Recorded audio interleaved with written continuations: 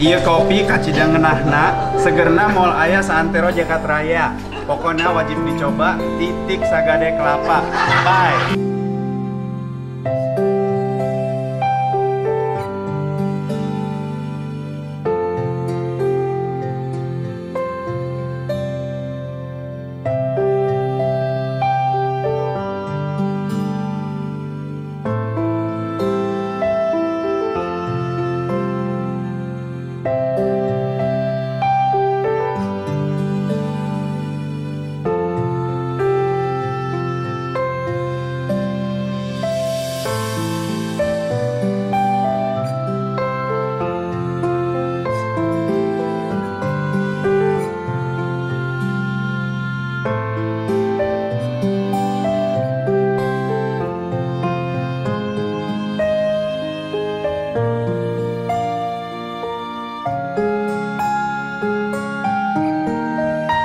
Syahrini tentu tak asing lagi terdengar di telinga orang Indonesia.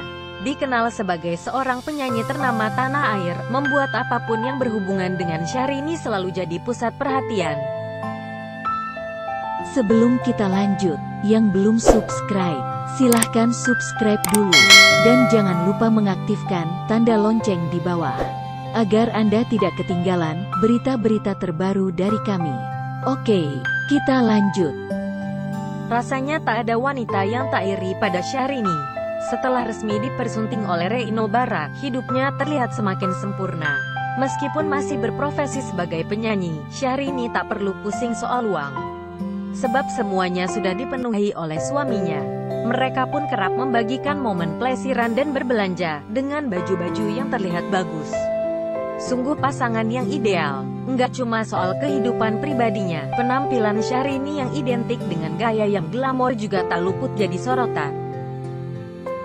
Tak hanya jadi penyanyi, Syahrini juga memiliki segudang bisnis di luar kesibukannya di dunia hiburan. Syahrini dan keluarga memiliki bisnis di bidang kuliner dengan meluncurkan pawon Sunda Bucetar. Pawon Sunda milik Ibu Syahrini itu berada di atas resto Reino Barak. Bisnis kuliner masakan Sunda disebut Syahrini dan adiknya sebagai pindahan dapur sang mama. Ya, menurut keterangan publik figur tersebut, konsep resto milik sang ibu, Wati Nurhayati adalah olahan masakan yang biasa dinikmati oleh sang mama.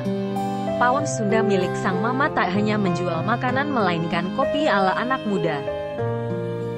Menurut keterangan Aisyah Rini, sang ibu memang senang minum kopi, sehingga turut menjadikannya ladang bisnis.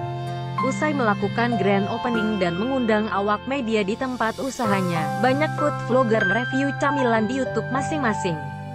Dari channel-channel tersebut diketahui pula lokasi pawon bucetar berada di atas resto milik Reino Barak, yaitu Food Days. Lokasi resto milik Reino Barak dan Pawon Bucetar berlokasi di kawasan Cipete, lebih tepatnya di Jalan Cipete Raya Blok 15AB, Fatmawati. Jadi ini letaknya di atasnya restoran Days punyanya Bapak Reino Barat, letaknya ada di lantai 2.